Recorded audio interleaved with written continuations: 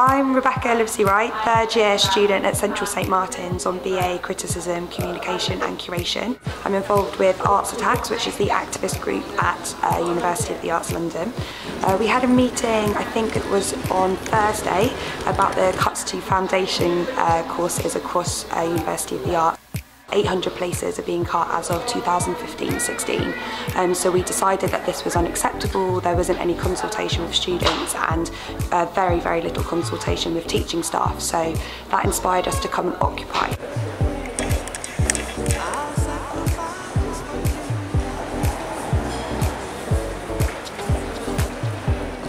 And we decided to come here, Central St Martin's. This is the biggest, most monolithic capitalist commercial building that the University of the Arts has at the moment. So um, yeah, we've occupied the reception building and also the conference room as well, so we've got a pretty big space.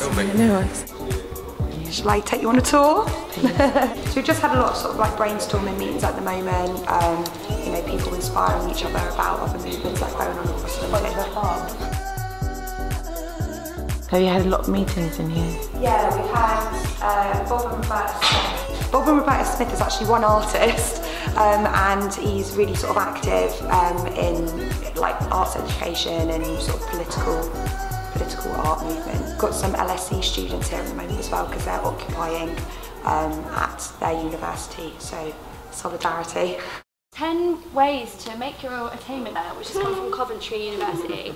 And it talks about like, oh, like try harder, believe in yourself. It places the blame on the student a lot and, um, and we kind of pointed out that actually like when it comes to the attainment gap, like it's down to racism. It's not about black students not trying hard enough or like not believing in themselves.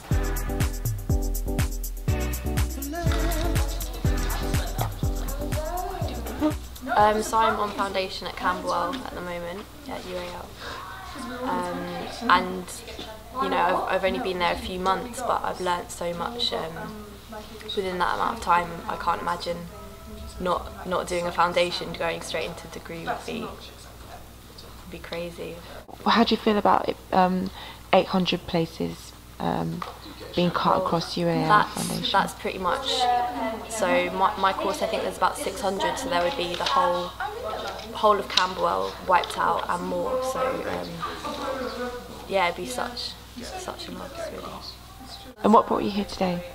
Um, I don't know. I saw um, I saw the whole campaign being um, on like Twitter and Facebook, and I thought is something that was really important. I didn't know before that um, places were being cut, and I don't think many people on the foundation did know. So um, yes, just try and support the cause.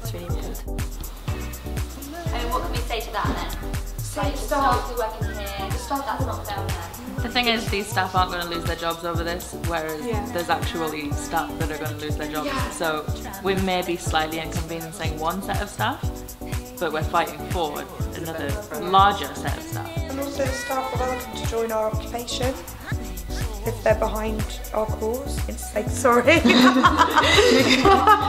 I am, I am impassioned about this, really.